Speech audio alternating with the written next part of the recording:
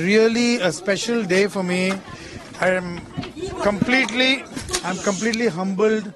I'm honored, and uh, I'm privileged to receive this doctorate on behalf of Techno India.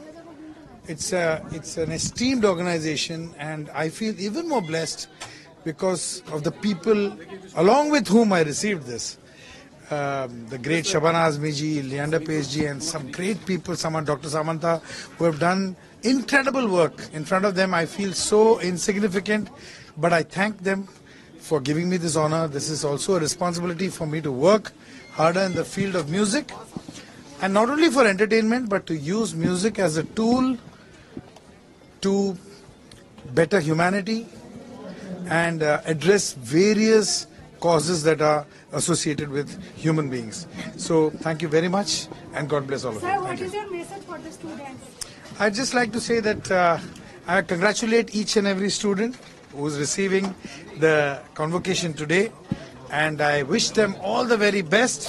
May they just focus on the work, their core competence. If you're a good painter, just paint. If you're a good uh, writer, just write. If you're a good musician, just play.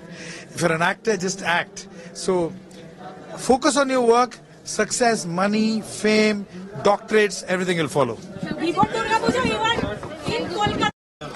Please, Ektashi, please, please. What did you like to tell? You are present here. What is your message? Well, firstly, I am extremely honored to get the DLIT, honorary DLIT from Techno India University, and particularly because I think the stature of the other recipients is so high that uh, my attempts have been so modest. I really don't think that I deserve this honor, but I do believe that now that I've got it, it also places a responsibility on me.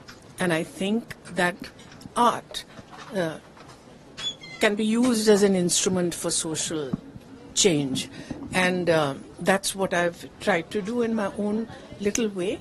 And I think that if we can get this awareness in all institutions, so it's not only technical excellence, not only academic excellence that they're looking at, but at a whole round development